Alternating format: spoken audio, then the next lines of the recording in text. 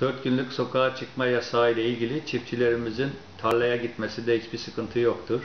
Bakanlık genelgesi yayınlanmıştır.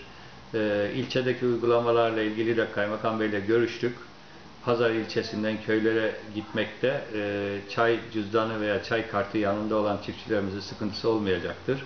Yalnız işçi getiren veya işçinin pazardan köylere gitmesiyle ilgili muhtar dernekleriyle oturmuş e, karar vermişiz. Evrak düzenlenmektedir.